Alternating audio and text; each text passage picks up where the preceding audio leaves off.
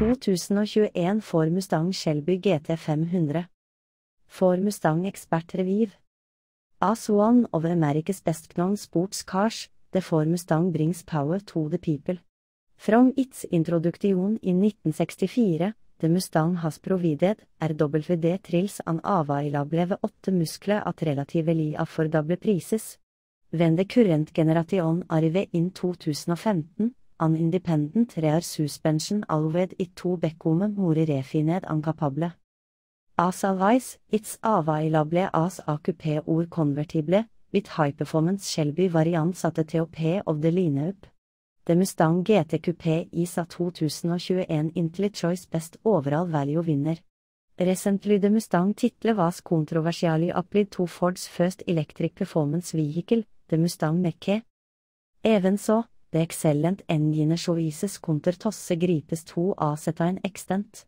Even the entry-level turbo for, once an untinkable layout for a car, delivers excitement with its rev-happy attitude. In a comparison against the Oyoe Supra 2.0, the EcoBoost Stangs charm and settle suspension gav it the win. Det naturally aspirated ved 8, an increasingly rare engine-format, has gobs of power an avisios roar. Tentereste GT 500 apostrof S Incredible Supercarged ved 8, lik transforms det humble Mustang into a legitimate supercar. It even managed a second plus finish a 2020 Best Drivers Car.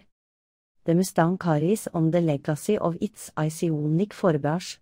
Even tog det terrific GT 350 Applars 2 begone for 2021, the recently introduced Mech and is a confident, capable handler with one of the best manual transmissions on the market. Overall test editor Chris Walton kaller driving the Mech en av very rassy experience with loads of grip, predictable brakes, sweet tuning, and a limited slip differential hat works wonders in putting the power down.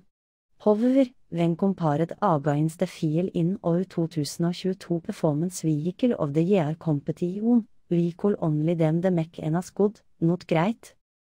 Performance Chevron All Mustangs are RWD an, Baring de GT 500, fitted with a 6-speed manual or T-speed automatic transmission.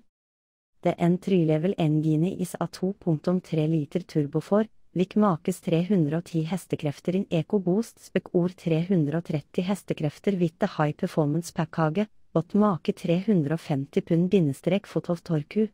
In motortrend testing, A manual transmission Mustang EcoBoost accelerated from 060 engelske mi per time in 6.3 seconds, while one with the automatic did the same in 5.3 seconds. With the high performance package, the car shall sprint 260 in under 5.0 seconds, for size. Det Coyote 5.0 liter ved 8 produses 460 hestekrefter in standard GT-form, or 480 hestekrefter in the bullet an Mech 1, Torku is 420 pund bindestrek fått in all. Vi tested an automatic Mustang GT convertibles 060 engelske mil per time acceleration at 4.2 seconds, an A manuale manualrecuped bullets at 4.6 seconds.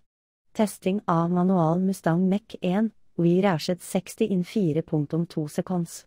Tat Mech en vas at lest as under braking, stopping from 60 engelske mil per time in just 96 fe, verre shortdistance. The GT 500 gets a model specific power.